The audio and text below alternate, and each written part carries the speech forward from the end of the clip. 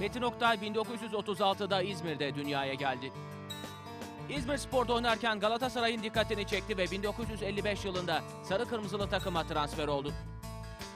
Sonrasında ise Metin Oktay gerçek anlamda bir futbol efsanesi oldu. Attığı goller ve saha içi dışı duruşlarıyla Galatasaray'ın simgelerinden biri haline aldı. 1961'de İtalya'nın Palermo takımına transfer oldu. Galatasaray hasreti bir yıl sonra onu geri getirdi İstanbul'a.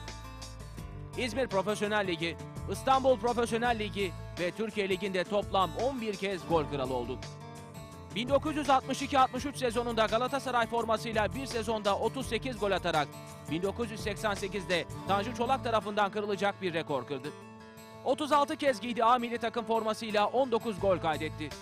1969'da Can Bartu ile Fenerbahçe formasını değişip giydiği jübileyle futbolu bırakan Metin Oktay, antrenörlük, menajerlik ve spor yazarlığı yaptı. 13 Eylül 1991 günü Boğaziçi Köprüsü çıkışında yaşadığı trafik kazasında yaşamını yitirdi.